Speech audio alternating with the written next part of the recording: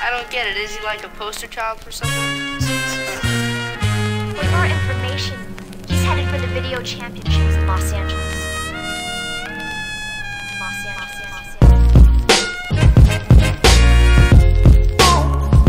It ain't even a question while I pop off. Hot like the chicken up the grease with some hot sauce. Used to play the blocks with the Carhartt. For breakfast it was blunts, but for dinner couple pop tarts. Used to run around with the heckler. Little